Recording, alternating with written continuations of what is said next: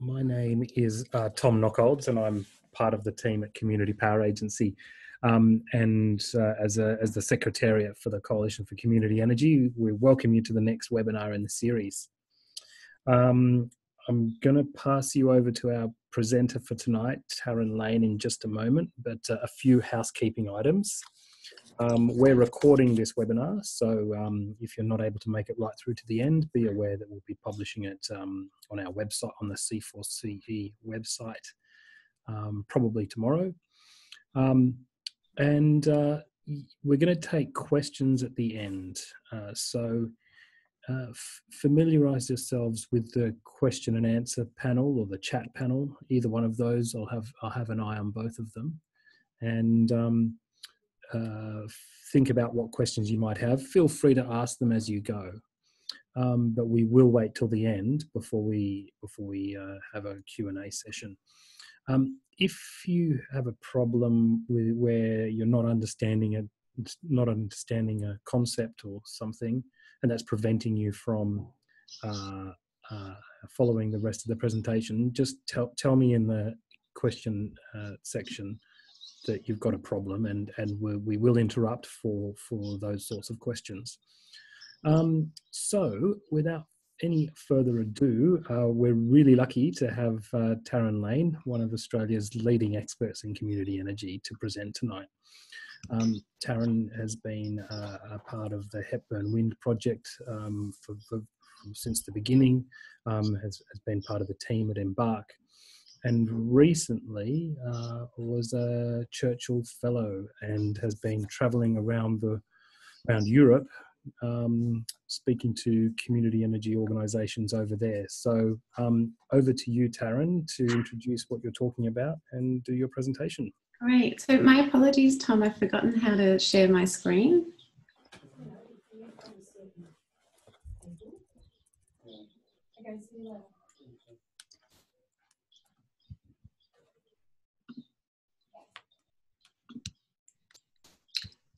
Tom? Yes. I've forgotten how to share my screen. That's all right. You'll figure it out. I'll stop sharing my screen. That might might make it a bit easier for you. Okay, cool. Oh yeah, that makes it easier. Great.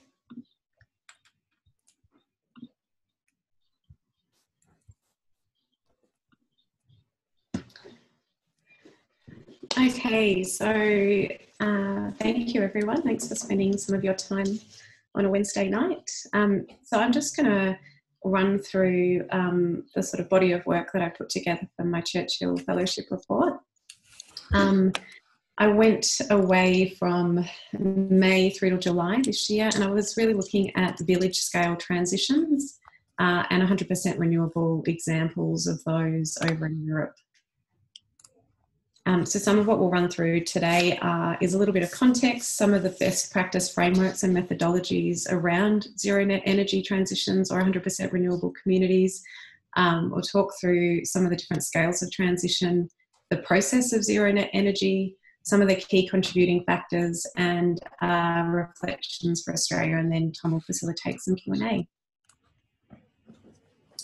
So here's just some some high level stats. So um, you know, I spoke to probably over 80 thought leaders. Um, I visited a range of villages and, and a few cities, um, and I did around 70 visits to operating projects. This is just a, a broad map of the places that I went to, but really it was very focused in Austria, Sweden, uh, Germany, Denmark, and the UK. And some of the, the context for you is so when we think about zero net energy or 100% renewable, it's really about enough generation to offset the local consumption. Um, within Australia, look, we have a, a, really strong movement of, you know, states are setting their own state-based targets. We've got the Victorian government with a 40% target by 2025. Um, there's a lot, lots of communities declaring targets, um, but nobody's got there yet. And probably Hepburn Wind is the closest because we delivered um, our two turbines, which offsets from our wind farm in Leonards Hill through to um, Hepburn Springs, so enough for 2,100 homes. And we say it's enough to power the town, um, but really what we'd like to see is our whole municipality um, deliver 100% renewable target uh, as quickly as possible. So because I live in a regional area and I, you know, work on that village scale, my focus was very much on the role of the village um, and how how communities in Europe have gotten there with high community ownership and a complexity of partnerships and technology. So I was looking for the whole suite, um, and I was particularly interested in, you know, the idea of integrated energy community energy systems where there's this grid, uh, you know, potential grid ownership or grid interaction in, in regards to demand management. So, you know, they're also really trying to utilize the load locally um, and different ownership approaches and, and strong social benefit.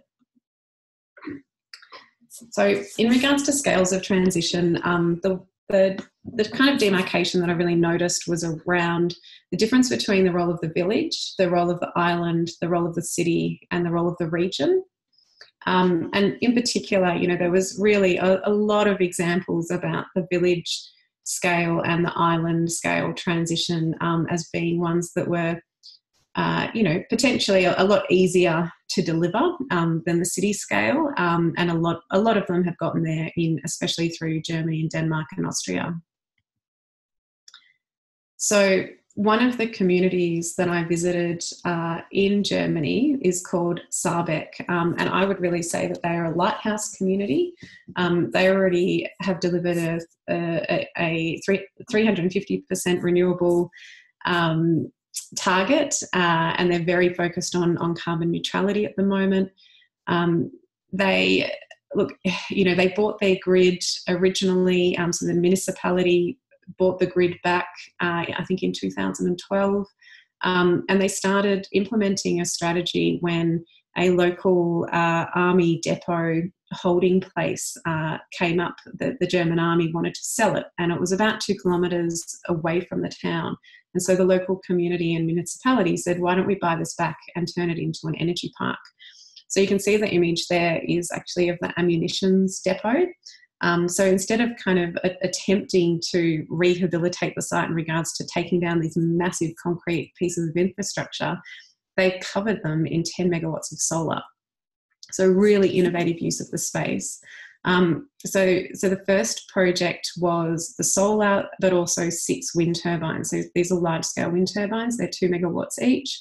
Um, so the municipality and the community co-own these these generators, um, and from there, a local farmers co-op came approached um, the park and said, "Look, you know, the group of us, we would like to have a biogas." Um, facility on site, um, and we're a farm farmers co-op, uh, you know, producing biomass out on our farms, and so they were welcomed onto the site, and then the local um, privately owned municipal waste centre asked if they could open up a, a, facility on site as well, and they they relocated there.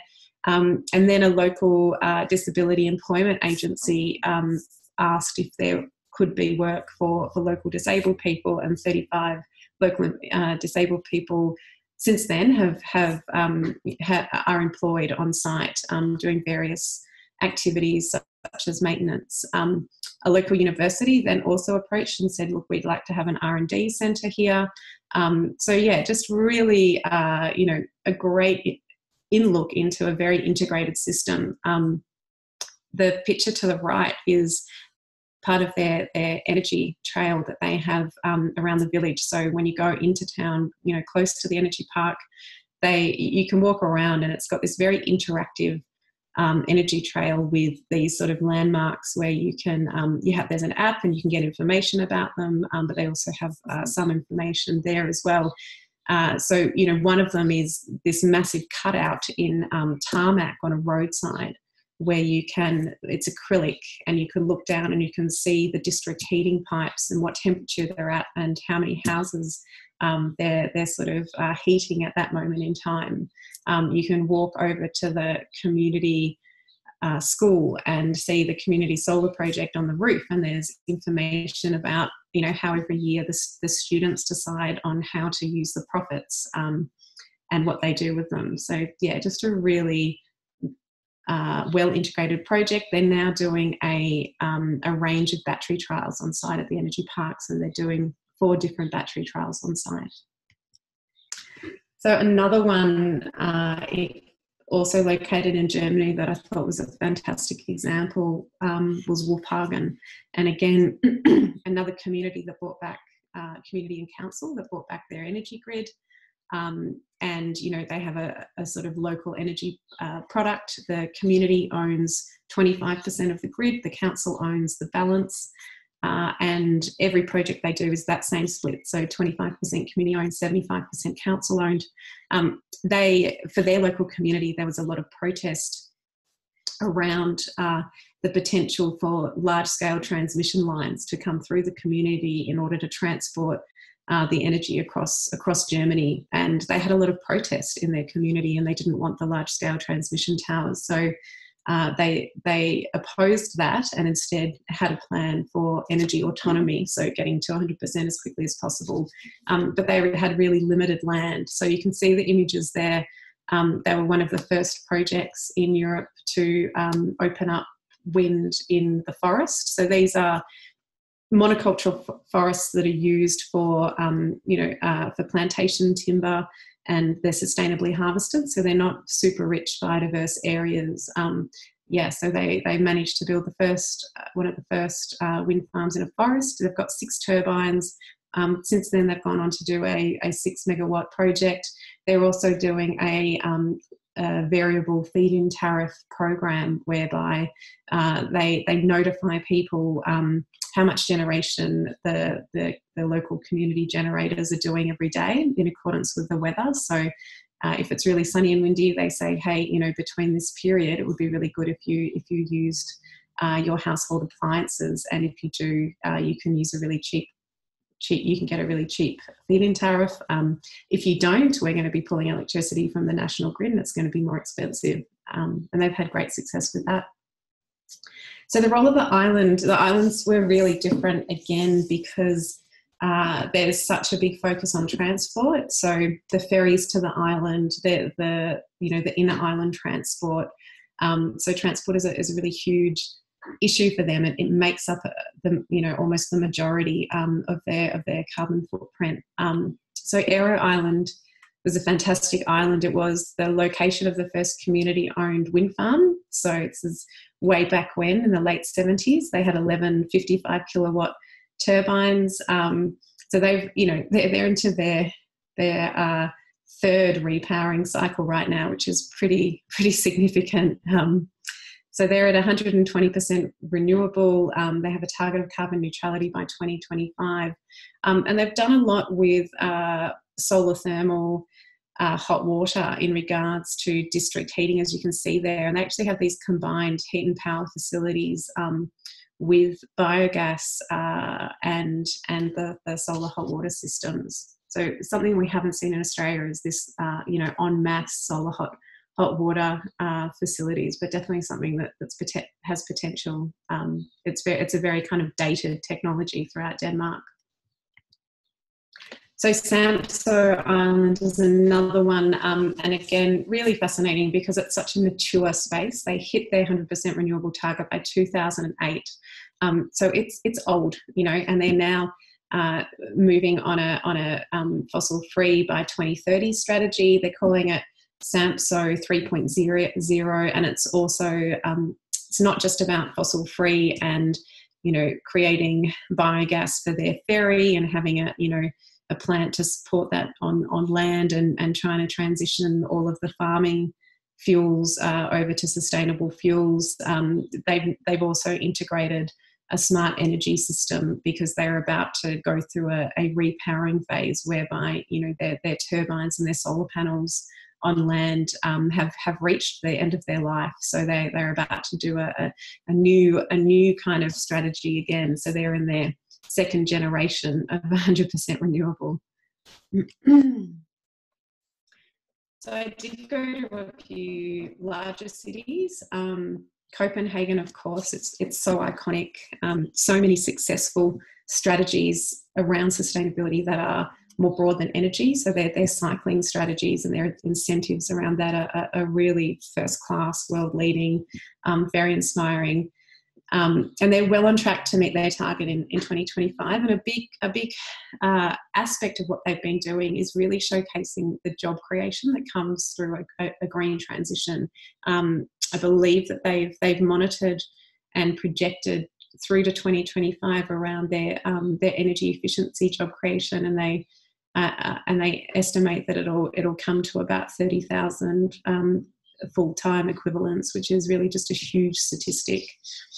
Um, Vauban in Freiburg is another really interesting case study. Again, it's a it's an army barrack uh, area of Freiburg that was bought back by the community and had a very visionary kind of plan to turn it into a bit of a satellite eco um, eco village, essentially. Um, but you know 5000 people live there. Um, so currently 65% of the energy needs are produced within the quarter um, and they have a, a, zero emissions target by 2050 um, a big part of what they've done there has been around co-housing and how to have this closed loop system within co-housing um, and try and you know house people as closely as possible their feedback was, you know, it was easier to do there because it's such a new city. Whereas when they try to, well, a new quarter, when they try and model it out to the rest of Vauban, which is which is quite, um, you know, it's quite historical and old and has a lot of different overlays on it. It's really difficult because the the question around generation becomes becomes more difficult to answer, whereas the the opportunity for retrofitting is much higher.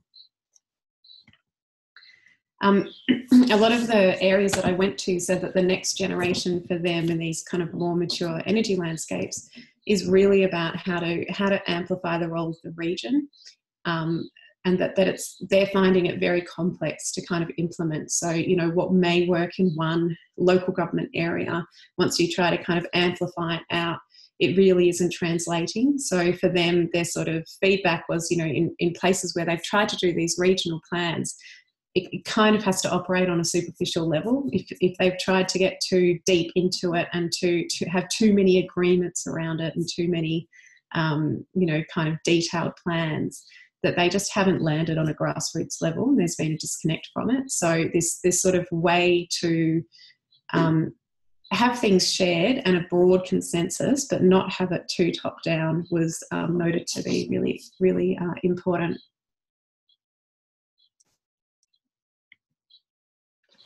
So I just wanted to talk a little bit about the importance of frameworks in regards to the process of, of zero net energy and just touch on a few um, that are popular over, over in Europe and successfully operating. So the first is the World Future Council. Um, so they look, they've been working in the space for a few years. They've been collating um, data on 100% renewable communities across the world and trying to work out um, what is uniform. Of course, you know when you're when you're mapping a, a 100% renewable transition, uh, everything's very contextual and has to be very much um, yeah designed for the context. And but you know there are principles and there are kind of guiding um, pathways and building blocks that that they have found have emerged um, through their research. Um, so they've developed 10 blocks, uh, so 10 building blocks. Um, and they're things like developing a blueprint, promoting energy efficiency, identifying financial resources, engaging in networks, um, building community capacity, those sorts of things. But they've, they've provided some really good tools um, to think through uh, a 100% renewable transition. probably one of the best uh, shires that I, I visited was Ringkøbing Skjern, um, which has 67,000 people uh, across its municipality, and the actual capital, Ringkøbing, has 5,000 people. Um, and they look they they had a really well established um, well networked localized process um, so they called it the energy council and the energy council they referred to as the heart of their energy transition so they, um, you know, they have a 100% renewable electricity target. They're already, I, believe, uh, they've just built another project since I've been back, so they're, they're close to their 70% target. Um, so they're 70% by 2016.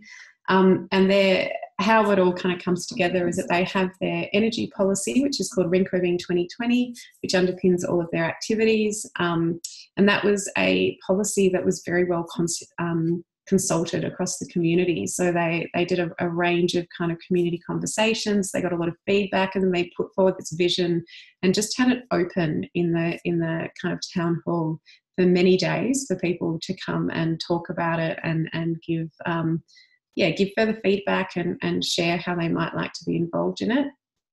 Um, so from from there they have an action plan um, so they, they have 13 focus areas. It's things like technology focus areas like wind, solar, biogas. They also have energy tourism, um, green entrepreneurship. Uh, yeah, and that's all kind of embedded in that action plan and it's uh, reviewed every three years. So it's on a three year kind of timeline.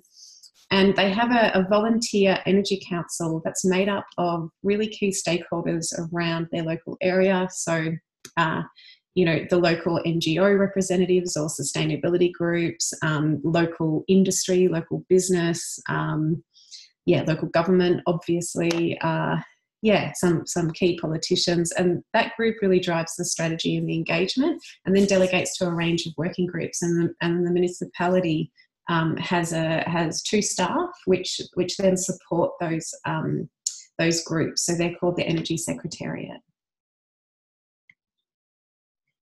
Um, another really great kind of variation um, was was in Totnes. So Totnes is, is based uh, near Devon in the UK, um, and you know that that's sort of where the transition town movement really came from. So they really took a whole bunch of principles from the permaculture movement and redesigned them um, in, into this concept called the transition town um, movement. And uh, they have a very strong focus on relocalization in regards to the economy and all other factors. So their approach has been to do this local economic blueprint. And it's really, look, it's really holistic. Um, it's a nine step process. Uh, it's about you know looking at the economic the economic context more broadly and for each community to work out what's actually important to them um, but my my colleagues in in Totnes when I asked them because they have now replicated it through a range of other communities. And I asked them, does energy always come up? Does community energy always come up? And they said yes, that it, it, it has been fundamental. Um, but some of the other aspects haven't come up as much. So for them, when they did their first one, it was really a focus on food, renewable energy, retrofitting, health, and care.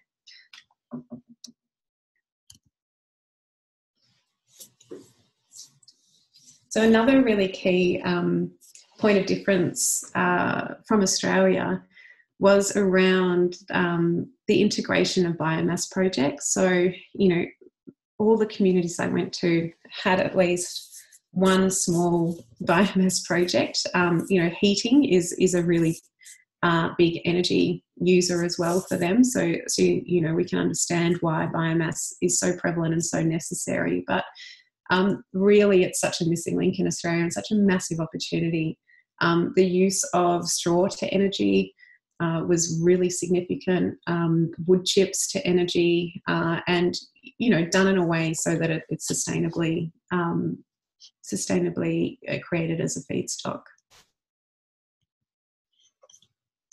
Um, so, just on the role of government and policy in regards to 100% renewable transition. So, um, Stefan Schurig from the World Future Council, uh, I've just got a quote of his here where he really, and a lot of people talked about this, that, you know, it's nice that we have um, these targets of 40% in Victoria by 2025, and then we've got these, you know, carbon neutrality by 2050.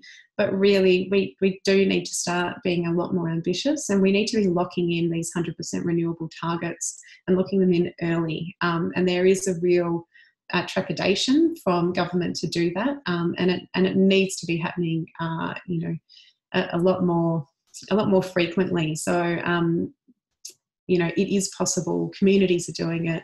Um, we should be doing it on a local level, but also, you know, on a, on a state and federal policy, we, we policy level, we need to lock in those those targets and be more ambitious. Um, we know what the roadmap is now to carbon neutrality, so 100% renewables should fall in far earlier than that.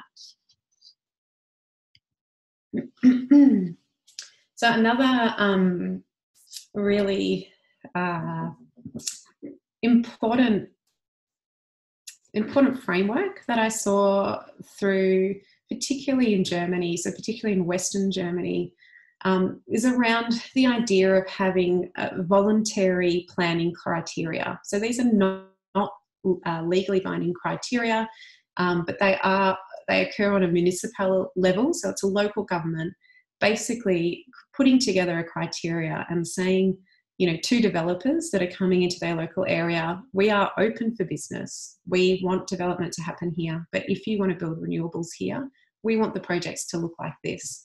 Um, and you don't have to do that, but you know, as a community, we've decided this is what we would like. Um, and there were lots of different variations on those, and there was a heavy focus on community power, so community ownership, community investment, uh, and a range of of things like that. Um, I've put in one example here, which is a, a community wind guideline from Steinfurt. Um, so this is uh, the area where Saerbeck is located in. Um, and so, you know, for wind development, they want to see really good community engagement uh, and consultation. Um, they want to see participation opportunities in regards to ownership and investment um, and, a, and, a, guaranteed minimum equity share, and not just for landowners, uh, and a low minimum share access, so about a thousand euros, so that most people could afford to do it, um, and the inclusion of regional banks as financing partners. So I think these are really good uh, ideas for how what we can ask our local governments to do. Um, as a way to you know better lead in to more more community ownership and investment of, of the projects that are going to happen especially in victoria because it's it's it's you know about to boom right now um, so I won't go through this really long list of the role of banks. Um, I will also attach my my Churchill report, or I believe Tom will attach my Churchill report to this after after I'm done. Um, but look, there was a, a, a much stronger role of banks um, and what, what they have been able to provide than we've seen yet in Australia. Um, some of the interesting things were um, in regards to financing. Uh, so community groups, uh, because because it's already proven, because they've they've done a number of projects, uh, you know, and there's there's more kind of literacy around it in Europe. Community groups are now just progressing with a portfolio of potential projects for capital raising, and banks are underwriting this. So they're sort of going to the bank and going, um, you know, we want to build 10 projects. They'll probably be solar, they'll probably be at sites like this. We'll look for this kind of return. Can you fund it? And we'll raise the capital with a community share offer over time. But we basically want to have the go ahead to just get on with it. And they're getting finance for that. Um, Another thing is that local governments have also set up really significant loans. So in Cornwall, uh, I believe I've got a $10 million loan facility for local community energy projects for, for, the, for the Shire of, of Cornwall, which is just very significant.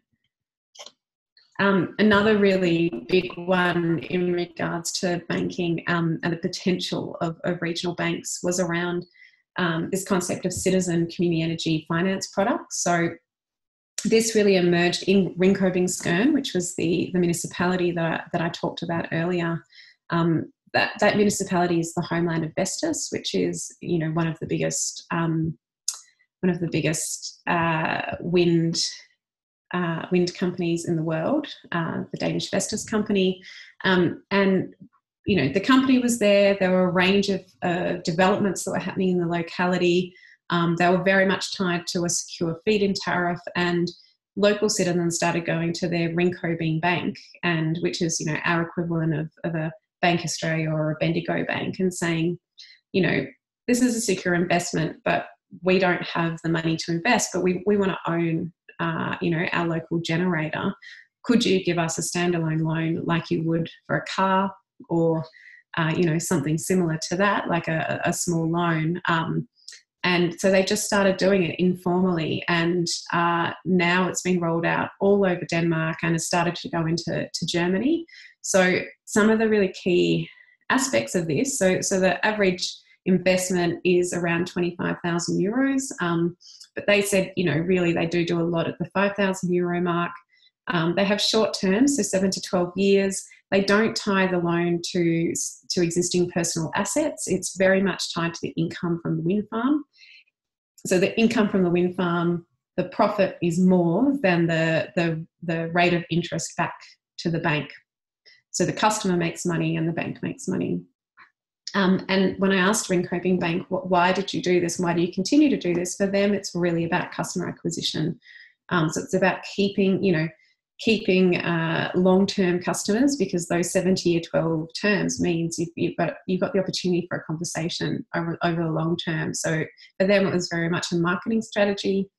They do loans like this for things like cars. Um, yeah, so it you know it uh, seems low risk for them. So it'd be fantastic uh, to unlock something like this through Australian banks, especially for communities that you know are going to have large scale development near them that will you know likely have a confirmed uh, income stream through things like auctions um, and you know maybe people in that community can't uh, you know afford a, a, few thousand dollars to invest in their in that local um, generator but if the local bank can provide a platform for them to have access it's another pathway to enhance regional economic development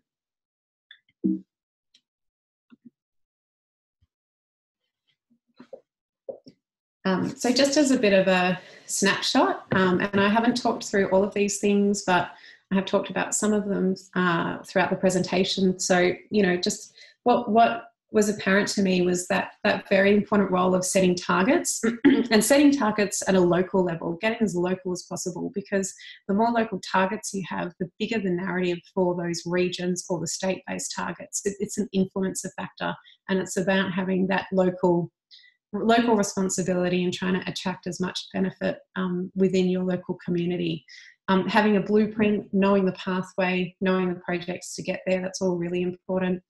Um, the role of lighthouse communities, as well as having regional approaches, was also really key. So, communities that can get there as quickly as possible uh, and then be a lighthouse to the you know to, to other surrounding communities is really, was really important for a lot of the learnings in Europe.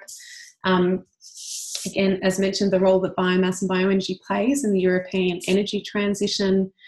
Um, the next one's really interesting. So, communities can take back the power and transition older commu- commercial generators into community assets. So, this came out of um, the UK, whereby they are now in a position that we were in, you know, a, a few years ago in regards to having a very conservative um, government in charge, and all of the, the benefits for community energy have been removed. So the community feed in tariff has been removed, the support mechanisms um, and the support agencies have been defunded.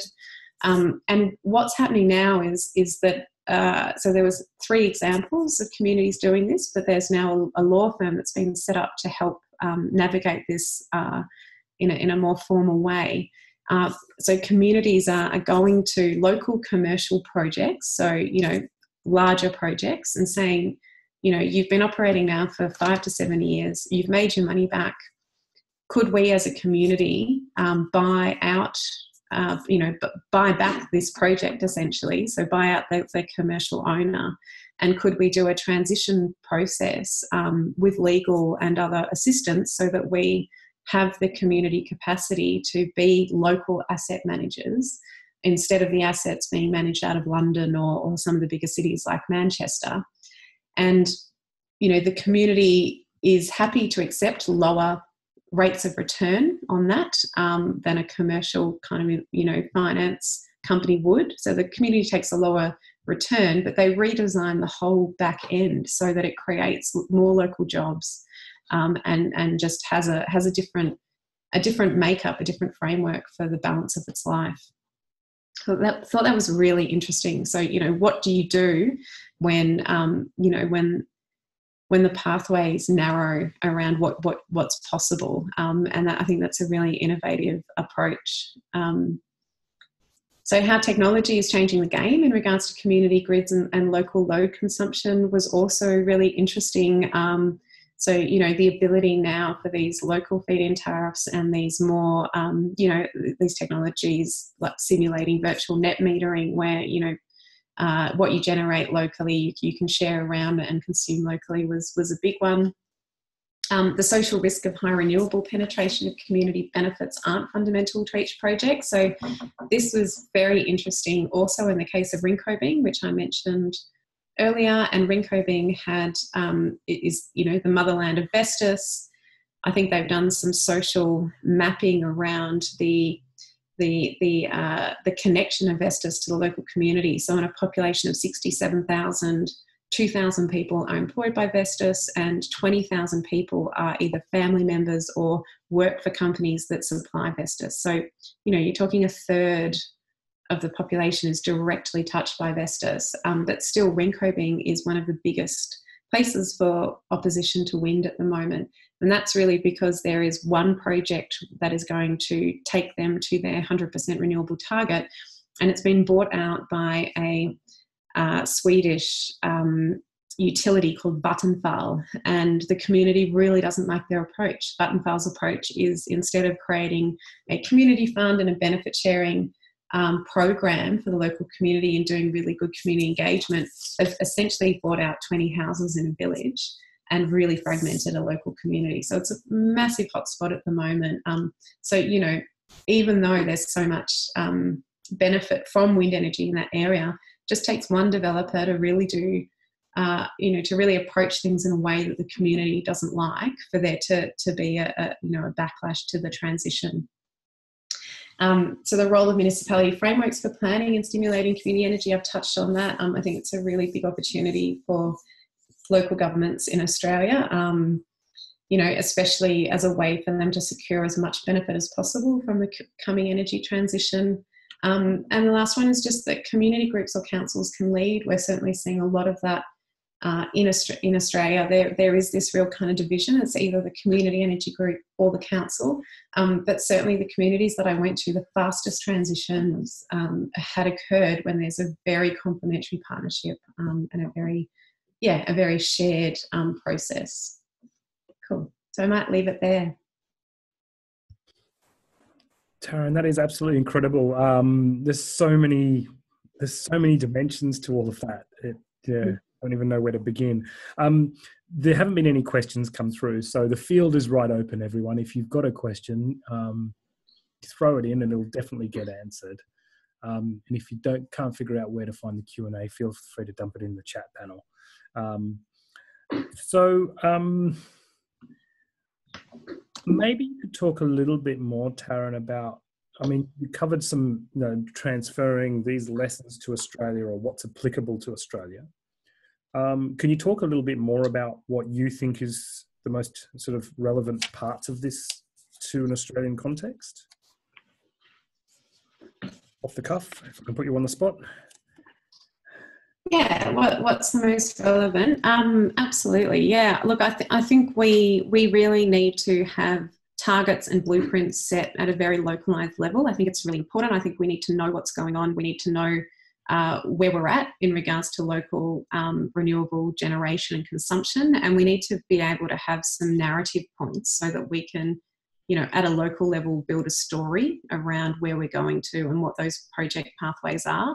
So at the moment in Australia, we're really focused on the project by project approach, and I think we need to be more strategic than that. And look, the the over in Europe, what's happened is that it's been very much this focus on stationary energy and heat and then once communities have um, achieved that, they then move into other aspects like transport and food systems and, you know, carbon sequestration and other things. Um, and that's certainly, you know, what's been happening in in Austria, uh, where they, you know, it's this very kind of step by step transition. But we we have the opportunity to really model out and lead across all of those things. Um, simultaneously and to have them be a really integrated approach. So, yeah, I'd like to see more of that in the Australian space.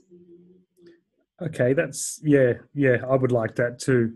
Um, and and for me, really, the theme that's coming through very strongly, or a theme that's coming through very strongly, is is local, local planning, local determination, local locals getting upset when external people are coming yeah. in with their external approaches. Mm-hmm. Um, Yeah. So Richard's asked a question Are these community projects still connected to regional or national or even international grids? In Australia, states are facing criticism for setting state targets different to national targets. How does this play out in Europe? I definitely think you can answer this one.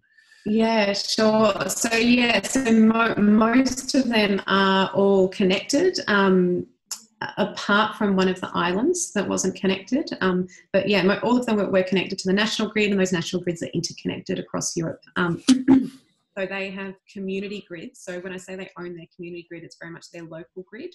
Um, but for them, they, you know, the, as soon as they start importing from the national grid, it costs them more.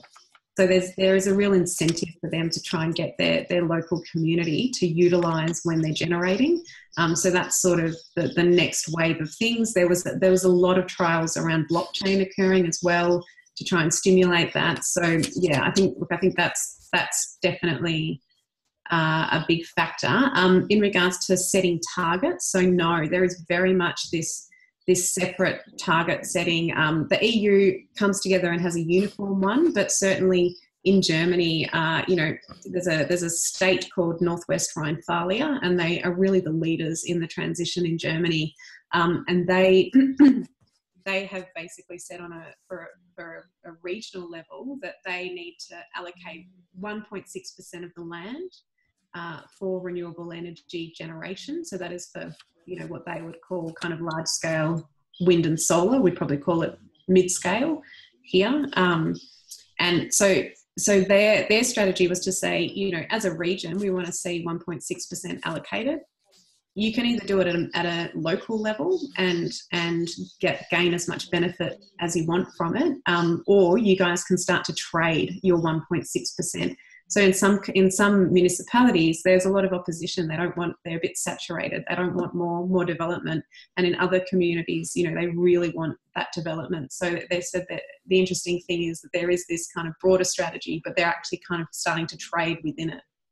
Yeah, yeah, fascinating. And you touched on something there, which was around these. Well, you mentioned blockchain, and then one of the ones you specifically mentioned as, as, as an example was this variable feed-in tariff, and yeah. and encouraging the con- customers to use less, more energy at the time of peak renewable production, windy, sunny days. Um, that's totally optional, right? People people are responding to that because the, because it's up to them if they want to. Yeah, well, no, in so in Wolfhagen, it was um, in Wolfhagen.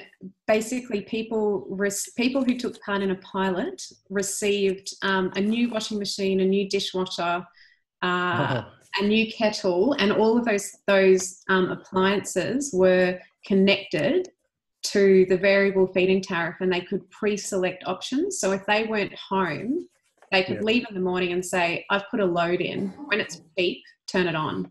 Great. And all of those would turn on. Um, in regards to blockchain, where it was really starting to emerge was in Denmark in regards to the repowering state that people are finding themselves. So, you know, their generators are aging, they need to put new ones in. Um, the new ones are likely going to go have to go in with that being subsidy free so, you know, the feed in tariffs have ended, there's limited options, the technology's cheap, um, but if you want to do small scale, they need to, to make it um, the business case stack up better and, and try and use it locally and, and utilize blockchain to do that. So, there was a number of research projects and trials going on around that. Awesome. Mm. No more questions. I'm going to ask a couple more because they've got lots of questions. Um, you mentioned a farmers co-op and and and how that was a relevant thing in must have been the, the, one of the first ones you mentioned that started with an S. Um, uh, anyway, it's not about the farm. Yeah, yes. Saerbeck, that's right. It's not about the farmers' co-ops, but I, I I'm, I'm a fan of co-ops, and I'm interested what role you saw energy co-ops are playing in the hundred percent town examples that you saw. The hundred percent. So, so almost look throughout um, mainland Europe all of the communities that I went that I went to were utilizing co-ops. Yep. So um, that that was the major legal framework um, that that the community portion was in, was was you know working from. Um, within the UK, they have their slightly different uh, model. Um, what is it called? The community community benefit companies, benefit, I believe they're yeah, called. Yeah, exactly. Which which is very similar. Hmm. Yeah, yeah, absolutely. So very strong cooperative movement. Um, very normalized, um, very normalized across different sectors and different aspects of projects. As I said, you know, like with the with the farmers, the, the farmers co-op, like those things are very very common in regards to to milk and other agricultural aspects. Um, I can see another question here. Did electric cars play a role in grid management in any area? Yeah, good question. Yeah, in regards to energy storage. Yeah, so this, um, I've, I've, done a little thing on this in my report as well. So in uh, Wolfhagen, again, um, so they they have a great benefit sharing model whereby they basically give subsidies to their members for um, uh, you know sort of energy efficient white goods and uh, e-bikes and you know uh, kind of more more sort of on a household level more more usable things and they've they've just done a, a, a pilot with um, two electric vehicles um, which were subsidized for two members to be able to use with with branding. They had to have branding from the energy co-op on it. But basically they they wanted to pilot you know um, how can they uh, start to use it as a as a as a designated uh, energy storage option and have them so track where they go every day and make recommendations about where they should go uh, where, where they should park their car and plug in um, to charge and when when can they uh, you know sort of be used as a, as a battery option so they're definitely doing trials but they're, they're quite small scale but the plan is for them you know I, I think they said that they estimate they'll be at 50% EV within a three to five year period. Um. And yeah, so for them, they you know the the energy storage option is is really high. Mm. Cool. Um, no more questions that come through. So I'm going to ask one sort of one question about about what you saw, and then a final wrap up question, unless somebody else throws theirs in the mix. Um, look, I'm really interested in this. How do we balance the need for external support that is just genuinely appropriate under some circumstances versus making sure that communities are genuinely empowered and that they are in control and that they're given the opportunity to build their capacities. Um, and this, for me, touches on you know all of those things that have kept on coming out about communities wanting to do it themselves, local pl- local planning, local target setting, um, external people coming in not being well received. Um, but I do still think there needs to be some, under some circumstances, there is expertise that exists outside of a community. What are your thoughts on that, oh. especially now that you've seen what you've seen? Absolutely, and I haven't look, I haven't talked about it today, but it's it is in my my report around the role of support agencies, and that that was very prevalent you know there has been whether they're government or not for profit or you know funded support agencies really playing that middle role. So that's sort of more leading from behind you know not being the the centerpiece but but really building that community capacity and helping give them advice. There was that was happening all over the place. Um, it was very rare that there was a community that that just did it off their own bat. Yeah. um, and you know some communities want to be fully empowered and have those local jobs and take control like that. And others just don't. They don't want that complexity. They they want to get there but they don't want to be um, left with the onerous responsibility afterwards. You know so it's very contextual i think um, in regards to what will suit a community and and who actually wants wants to do what. Um, yeah but certainly you know i, I hear conflicting things um, from wolfhagen uh, you know, from the chair there, you know, she'd be she'd say, you know, we're up for the for the mission of getting here, but we don't we don't want so much the ongoing challenge of having to own an operator. We just sort of want to do good things for our community. Um, whereas other, you know, the fact that in the hmm. UK they're really trying to re they're trying to buy out commercial generators and redesign them.